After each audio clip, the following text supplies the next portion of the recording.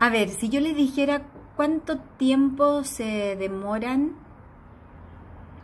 entre que les parte un dolor de cabeza hasta que se toman la tableta, o eh, cuánto tiempo son capaces de,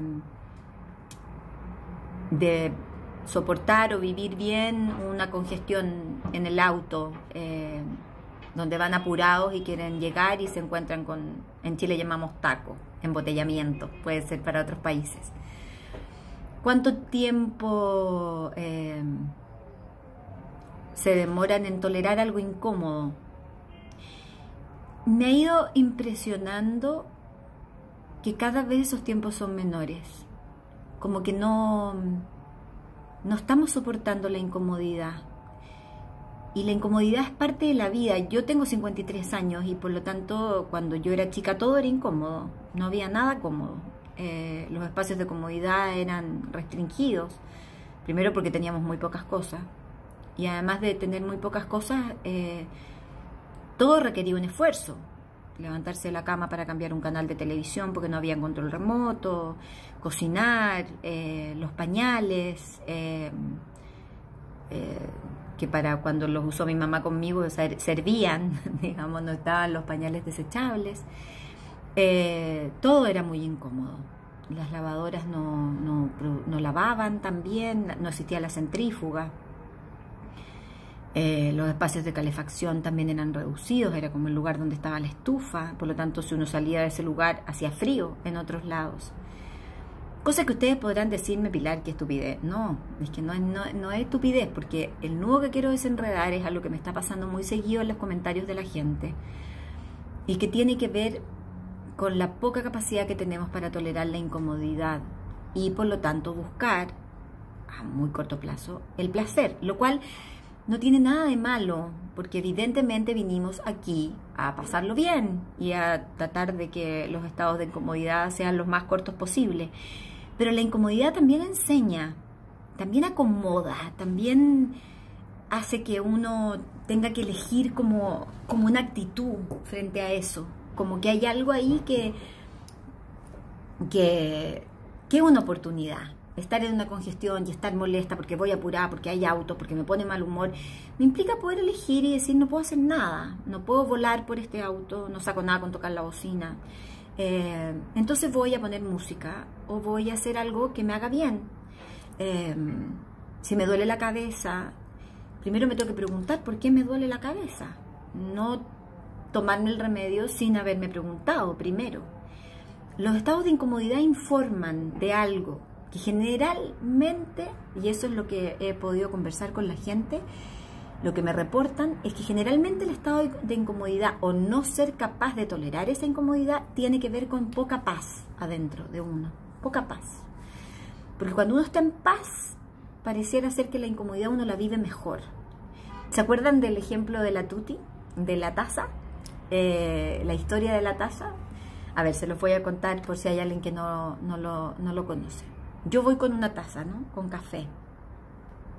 Caminando. Y viene una persona detrás y me pasa a llevar y yo boto el café.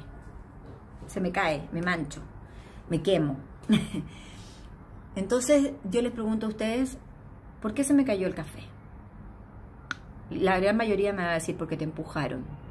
Otro gran porcentaje me va a decir porque tú no te diste cuenta que venía alguien de atrás y deberías haber tenido la capacidad de darte cuenta para correrte. No. El café se me cayó porque eso es lo que yo tengo en la taza. Si tengo té, se me cae el té. ¿Qué tienes en tu taza? Que a la menor incomodidad, ¡pah! sale. Si tengo rabia en mi taza, sale la rabia. Si tengo eh, envidia, sale la envidia. Si tengo paz, sale la paz. Si tengo amor, sale amor. Si tengo paciencia, sale paciencia. Por eso es importante el ejemplo porque, porque la incomodidad muestra refleja, el vivir en una situación de incomodidad, refleja algo que tenemos adentro. Y me pareció súper cierto eso que me dijo una señora de que la incomodidad molesta cuando hay poca paz. Cuando hay mucha paz, uno la incomodidad la vive mejor. Y resulta que como vivimos en una estructura social donde hay súper poca paz, porque vivimos tensos, porque vivimos angustiados, porque, porque vivimos em, em, con esa sensación de premura todo el rato, la, perdón, la paz se nos pierde, ¿no? Es como el video de la calma, que tanto cariño ha dado y que tantos comentarios positivos me han regalado con ese video, que nos quita la calma y que nos da calma. Em, entonces creo que la incomodidad es buena información. Creo que es bueno que los niños tengan situaciones de incomodidad para que peleen entre los hermanos. Porque como pelean en los hermanos también van a ser capaces el día de mañana de negociar con otra gente.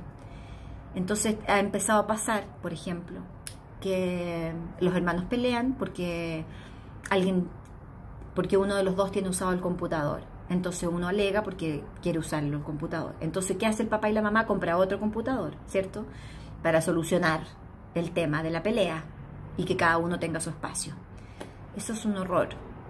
Hay que aprender a ceder y que esos hermanos aprendan a esperar el uso de la tele, del computador o de los juguetes o de lo que sea. Hay que aprender a renunciar para poder dar y eso, eso jode, pues, no es grato, eso es incómodo y no nos gusta.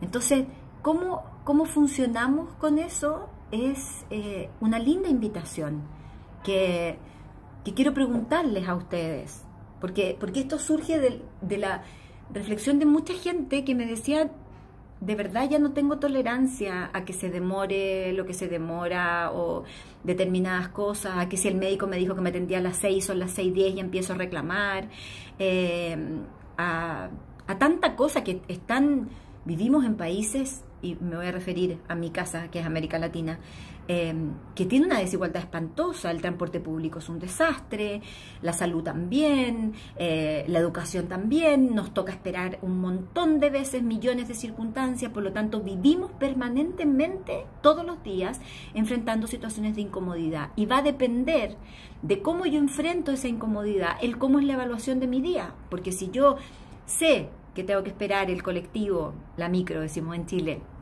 la guagua en República Dominicana, eh, en, determinado tiempo, y yo ya sé eso, entonces a lo mejor puedo escuchar música, puedo leer un libro y voy a tener una actitud distinta frente a esa incomodidad. Y así con todo lo otro, porque la actitud frente a la incomodidad, como la incomodidad me entrega información de cómo estoy internamente, de cuánta paz tengo adentro, me está dando señales, me está diciendo aquí hay algo que no está resuelto, que no, que no, que esa taza tiene cosas que no son muy buenas y que me generan mucha distorsión y mucha rabia a lo largo del día. Debiéramos tolerar más la incomodidad, porque el mundo es intrínsecamente imperfecto. Entonces vamos a vivir todo el tiempo muchas situaciones de incomodidad, que si las vamos aceptando como tales, vamos a tener mejores días. Pero si yo parto con las expectativas súper altas de que no van a haber situaciones de incomodidad, me van a joder más la pita, van a estar más complicados el día, se va a complicar más el proceso y eso a la larga lleva a que nuestros días sean de peor calidad. Creo que, que acostumbrarse a la incomodidad es un proceso de aprendizaje sano y productivo. Creo que asumir, hacerle asumir a los niños que no todo en la vida puede ser cómodo, incluso puede ser hasta placentero. ¿Cuántos de ustedes no recuerdan, no sé, vacaciones en una cabaña chiquitita? Donde habían 10 personas y había que esperar por el baño y había que todos dormir juntos en una cama, como además vive mucha gente hoy cotidianamente. Si América Latina es un continente muy pobre, donde mucha gente vive situaciones incómodas, y los que tenemos la fortuna de tener un poco más de comodidades, debiéramos ser más agradecidos de eso y quejarnos menos de la incomodidad.